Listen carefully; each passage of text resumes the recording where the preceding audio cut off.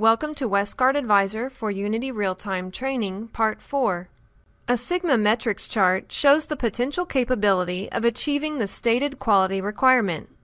We'll first work to understand Sigma metrics charts in the abstract before looking at them in the context of the software. Our Sigma metrics charts always have the test listed in the bottom left corner. You'll always find the header for the chart listed across the top. In this case, the TEA is 11.6%. The vertical axis is the probability for rejection. The lower horizontal axis is the control metric.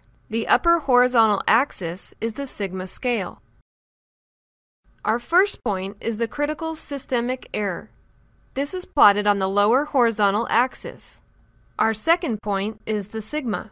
This is plotted on the upper horizontal axis. A straight vertical line connects the control metric to the sigma. This is the sigma metric line. Ideally, we want the sigma to be above 3.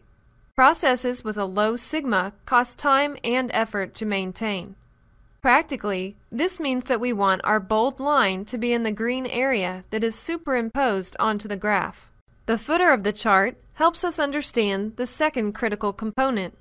Here we see the recommended rules and the number of control runs. We also see the probability of false rejections and the probability of error detection. Westgard Advisor uses the information in the footer to select the correct power curve. We want our critical systematic error to be at a 90% probability of detection. Practically, this means that we want the point where the power curve intersects the vertical line to be greater than 0.9. Finally, look at the intersection of the power curve and the vertical line. This shows your false rejection rate. The false rejection rate should be as low as possible.